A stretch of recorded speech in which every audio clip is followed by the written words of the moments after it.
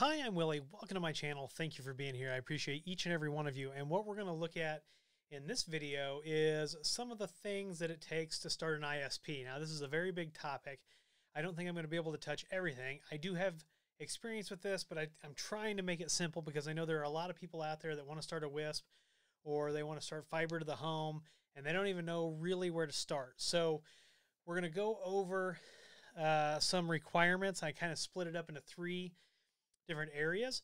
We're really going to concentrate on the technology side, the configuration side here, and then I can help get you to people that can help put all these other things in place. So, welcome to Start an ISP, and I've got three areas of requirements. So, the first set of requirements that you have to understand are your legal and regulatory requirements. So, you're going to need a business. You want to register your business uh, with whoever takes care of that in your area.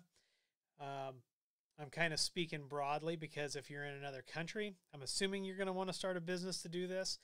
So you need to make sure that you get your business registered. Then, in some countries, you have to have a telecommunications license to be an ISP. Now, while you may not need that in the US, maybe some localities do um, require that. And then if you are providing phone service, you're definitely going to have a mixture of some of these things, right?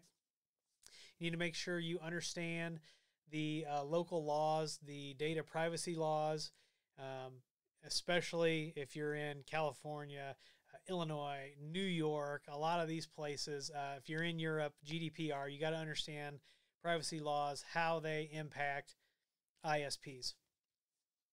Uh, universal service funds. So uh, some jurisdictions will make you pay into that universal service fund, or uh, you will have to, if you're getting government money, you do have to, you know, provide service to underserved areas, things like that. You're going to need to understand interconnection agreements, and I have people who can definitely help you with this. But you're going to want to negotiate interconnect agreements with existing providers um, and you're going to want to hop on internet exchanges and things like that, possibly. And if you get big enough, then maybe you'll have one of those big red Netflix boxes sitting in your network, right? And then you're going to need to understand right of way and access permits. So you're going to need permits for, you know, laying cables, installing equipment, uh, if you need to do towers, things like that. Um, if you are uh, building out a WISP, I mean, you may not have a tower, but you may be on a grain uh, bin, bin leg somewhere. You got to understand all those kinds of things. So that's kind of our legal and regulatory requirements. Then some administrative requirements. Now, if you are going to go borrow money to do this, right? If you don't have money socked away or you don't have subscriber subscribers already lined up and you're going to go somewhere and you're going to ask for money to start this venture, you're going to need to have a business plan and it's going to have to be comprehensive uh, with market analysis, financial projections, and operational strategy. Otherwise, people who loan money are not going to look at you. Uh, you need to understand what kind of insurance and the coverage you need, liability, uh, property. Um, who knows? If you start then consulting for your clients, you're probably going to need uh, errors and omissions, all those things. So check that out. You're going to need to have uh, you know, customer service agreements, privacy policies, terms of service, acceptable use procedures, and they have to be written clearly and um, you should make sure that you're abiding by legal requirements and that your legal team has vetted those.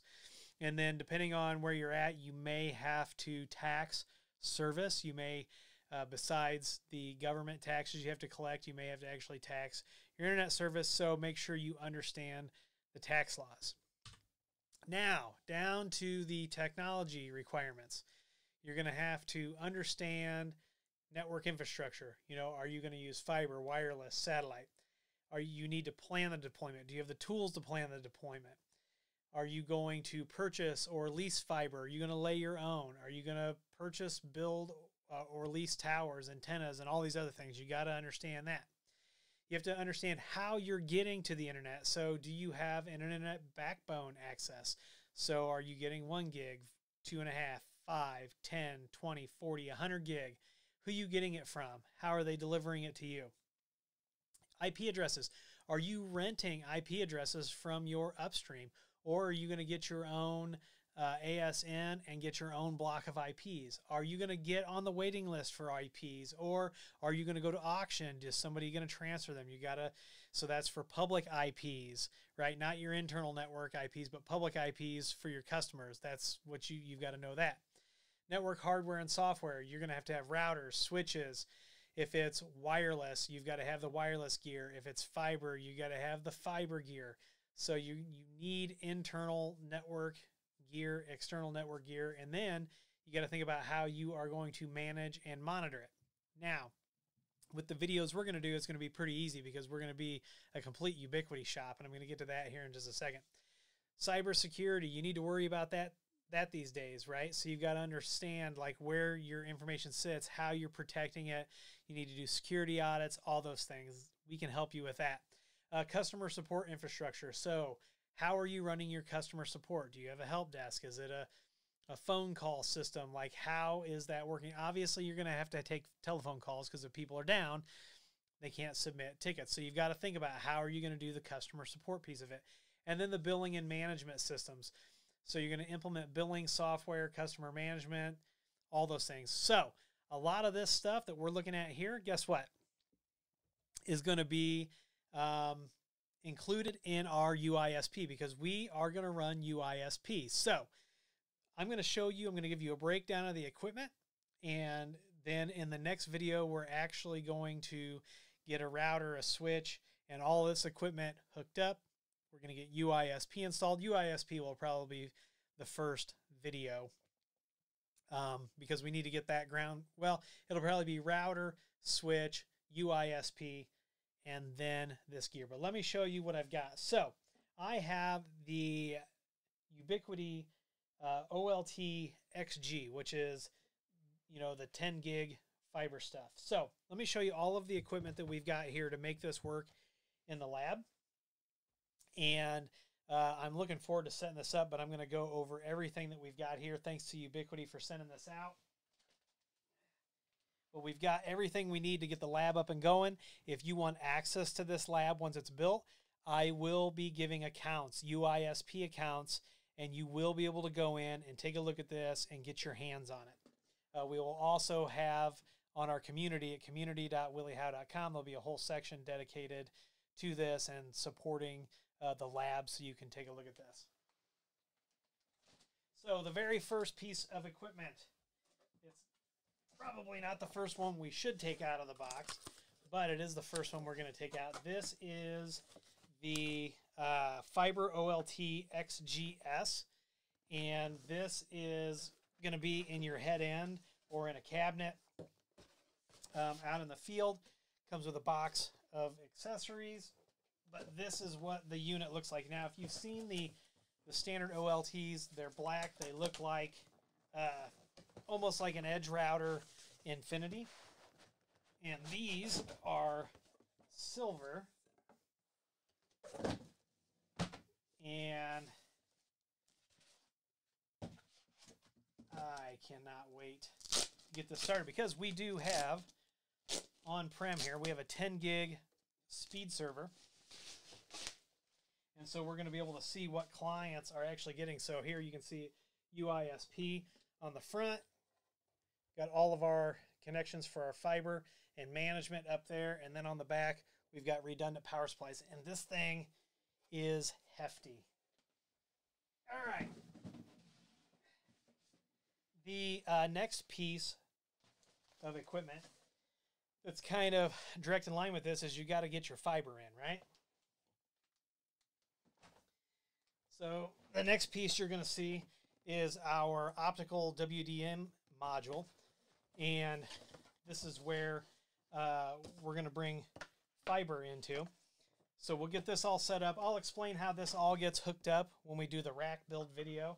That'll be coming here in the next uh, week or two. Um, then, from that,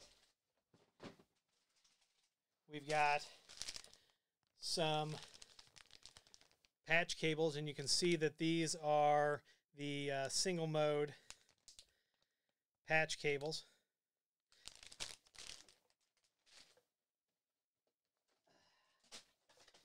We've got the UF splitter.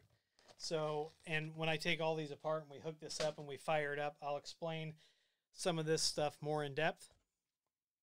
And then we've got the we've got a couple optical uh, transceivers. We've got a, an optical transceiver for the unit. We've got a GPON OLT SFP module here. We've got uh, a 50 pack of optical adapters. And then we have all of the stuff that's going to be uh, considered, you know, uh, cu- customer premise equipment. So we've got a fiber XG unit. We've got a fiber XGS unit. And then we have a UFiber Wi-Fi 6. So we are going to get all of this hooked up.